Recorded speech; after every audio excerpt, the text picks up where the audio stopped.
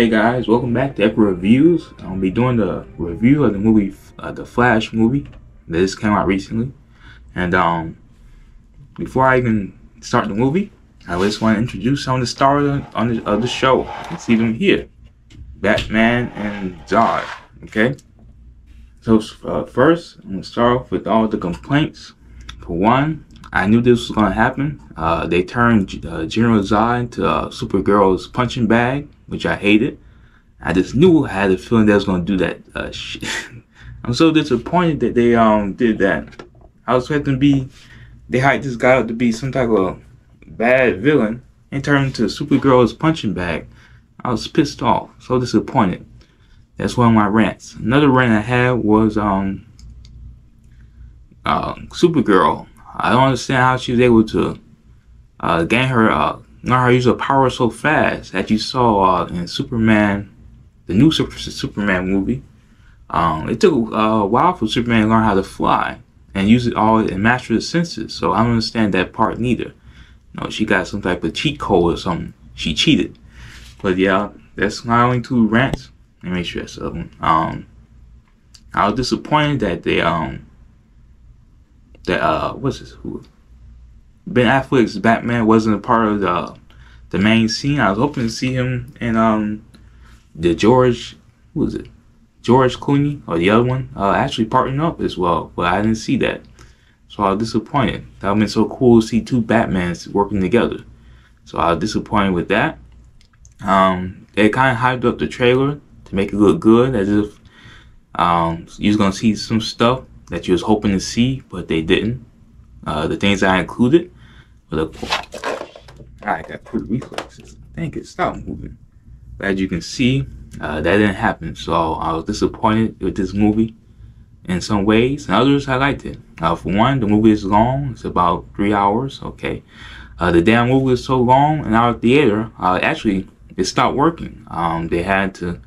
It took about ten minutes to reboot the system to get the movie playing it started at the good. It started. I can say it stopped at the good part where um, uh, the Flash was fighting uh, Faora, one of Zod's uh, henchmen or lieutenants or generals or something like that.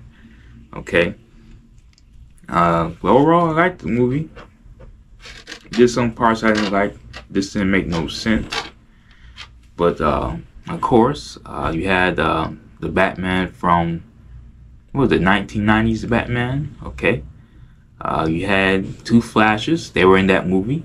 Uh, okay. Uh, of course, the Flash was his alternate Flash was annoying as heck. I was getting annoyed by his personality. Guess you say he still had that like that childlike mind. Okay, that's one. Uh, so he was annoying, but you kind of got used to him with his uh, crazy jokes and stuff. But um, you had some action well, some parts uh, where they had to go save uh, Supergirl. Okay, that was one. You had uh, the uh, the the fight scene towards the end. You had, uh, of course, when the Flash was trying to go back into time and stop his mother from being killed, uh, then well being eliminated.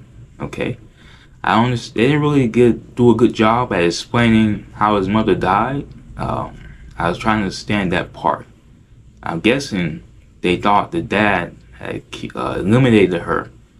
Um, so that's what I assumed, but they didn't really explain. All you just saw was a knife stuck in her chest and blood, and then you had uh, what you call it, the uh, the father come and supposedly tell. I even forgot what's Flash name in that movie. Well, to tell the Flash to save and call 911. Okay. Um, you had um, the Flash taking on ooh, taking on uh, General Zod and his crew. Okay. Um, of course, in that movie, it's an alternative universe because um, Flash goes back in time to save um, his mother. So now you saw where. Of course, you had the Flash taking on um, uh, with, with a Zod's henchman. Um, for some reason, the weapons that Zod and his crew had somehow was able to hurt them. I didn't understand that part. I thought they were Kryptonians, so and since they absorb the um, the Earth's sunlight, uh, they would be immune to a lot of stuff. But I guess somehow they got some type of kryptonite on their little swords that hurt that can hurt them. So uh, one of the Flashes was fighting one of Zod's henchmen and was able to hurt her. So I was a little confused on how they was able to do that. I guess because they absorb a lot of sunlight. Okay. Um, and of course, you had this cool part. I liked it. Um, where the Flash would, uh, they kept trying their best to uh, fix the timeline by trying to find a way to stop Zod from killing Supergirl and taking her DNA to start the terraforming on Earth, like you saw in Superman. Okay, and they kept trying to do this, um, go back in time and try to stop it. But um, one of the Flashes realized that um, uh, it's not possible. Uh, it's one of those timelines that gets stuck in the loop because um, like you keep doing it because you can't fix it. Uh, it was impossible. Like what Batman explained to him. But that's pretty cool. Um, yeah, I, I really like that uh, Batman scene uh, when you saw him taking on those Russian guys. So this is so cool. He was throwing batarangs, doing all his martial arts that he was taught, and this uh, using his uh, cape as a bulletproof uh, shield. That was so cool as well. I really like that part. I gotta say, uh, Batman really, uh, that Batman from that alternate universe really carried that show. And I really, uh, that was a good part. I mean, the movie, not the show. Okay. Um, also, the Flash, of course, as well. He had to make the ultimate sacrifice to allow his mother to be eliminated in the movie uh, so that uh, they can fix the timeline. Okay, so um, that's pretty much. You have to pretty much watch the rest of the movie for yourself. Like I said, I can't remember everything because it's a long movie. I just remember the key parts that I liked it and disliked it. Okay, so it's a little uh, review of the Flash movie. I still say it's a good movie. Um, just be prepared to have a, a good attention span because it's about three hours long. Okay, and uh, enjoy the video.